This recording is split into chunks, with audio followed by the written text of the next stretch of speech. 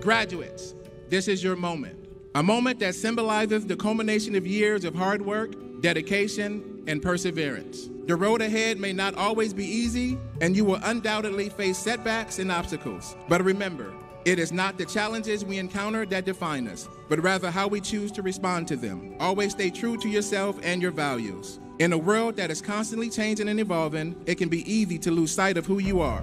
But remember that your unique voice, your perspective, and your convictions are what make you who you are. Never forget the importance of kindness, compassion, and empathy. As you go out into the world, you will encounter people from all walks of life.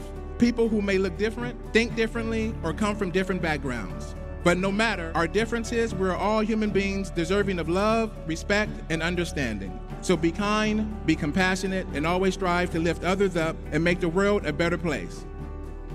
Four years ago, we cheered as we received the news that we would have a two week break, unaware of the challenges that lay ahead. Through it all, we demonstrated perseverance, adaptability, and an unwavering spirit. We supported one another in the ways that we could, adapted to a new form of learning, and found strength within ourselves. As we look into the future, a world of endless possibilities awaits us. So build your own path, define your goals, and embrace your individuality. Never forget where you came from, who you are, what you value, and always remember, si se puede.